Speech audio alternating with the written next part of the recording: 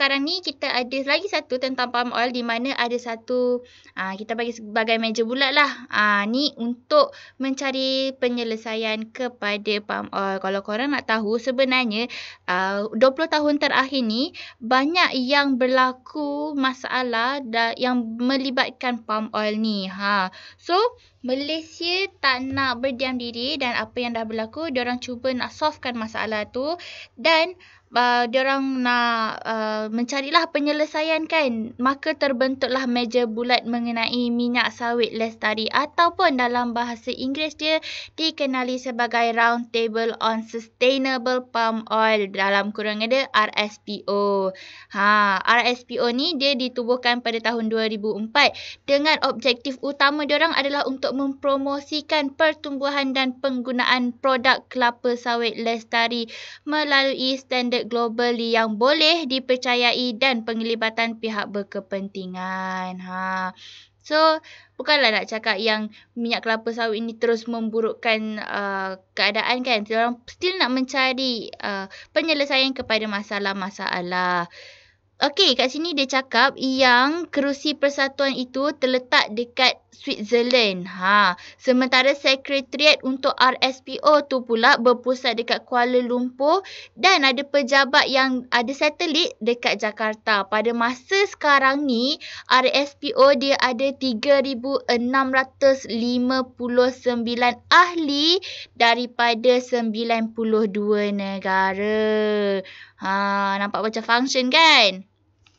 RSPO uh, ah, RSPO RSPO ni adalah sebuah persatuan. Dia bawah undang-undang Switzerland yang dia kat sini dia bagi tahu ada pelbagai organisasi daripada pelbagai sektor industri minyak sawit. Dia termasuklah pengeluar pempro pemprosesan ha perdagangan pengeluar barang pengguna peruncit bank, pelabur, NGO, bla bla bla bla bla. Dan semua benda ni adalah untuk tujuan membangunkan dan melaksanakan piawaian global bagi minyak kelapa sawit lestari. Untuk memastikan yang kelapa, uh, minyak kelapa sawit kita berkualiti tinggi dan sihat. Ha. RSPO ni, diorang kata dia diilhamkan oleh idea meja bulat. Yalah, kalau meja bulat kan everyone kena bercakap kan. Semua ahli kena ada hak yang sama. Ha, terdapat pelbagai jenis keahlian dengan yuran keahlian yang berbeza. Ha, dia ada ahli biasa, ahli biasa dalam kurungan pe, apa penanam kecil, ahli gabungan, supply chain associates, banyak lagi. So ahli gabungan dengan uh, rantaian bekalan bersekutu, diorang ni tak mempunyai hak mengundi dekat perhimpunan agung tetapi uh, diorang ni dikenali sebagai anggota biasa dan ahli biasa ni layak sebagai penanam kecil ha tapi Walaupun RSPO ni adalah salah satu cara yang diorang cuba untuk melestarikan minyak kelapa sawit tu, diorang pun masih me, uh, menerima kritikan lagi-lagi kepada daripada NGO alam sekitar. NGO ni dia bagi tahu yang isu-isu termasuk kesan ladang kelapa sawit ke atas populasi orang hutan, pemusnahan hutan tropika untuk ladang kelapa sawit baru, pembakaran dan penyaliran kawasan besar hutan paya gambut di Kalimantan Indonesia ini terganggu. Ha.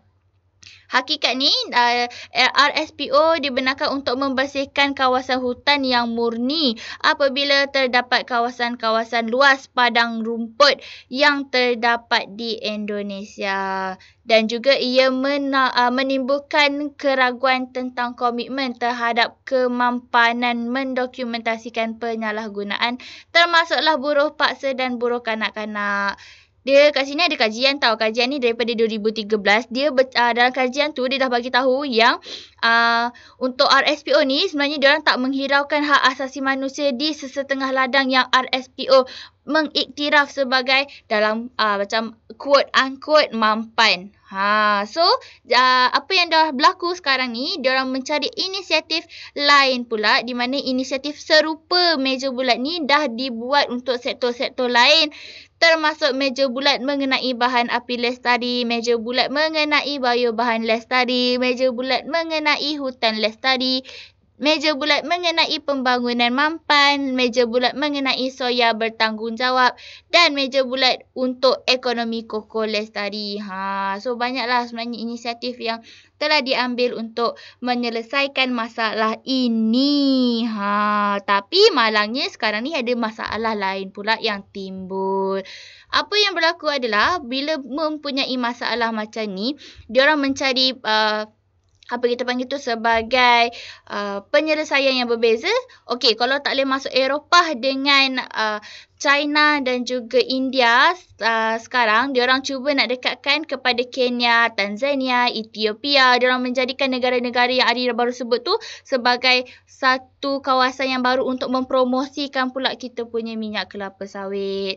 Malaysia tidak akan pernah berhenti dan harapnya tidak berhentilah sebab nak tak nak minyak kelapa sawit ni adalah ekonomi kedua terbesar kita. Kenapa kita nak berhenti? Nanti kan susah untuk rakyat-rakyat marhain macam kita ni.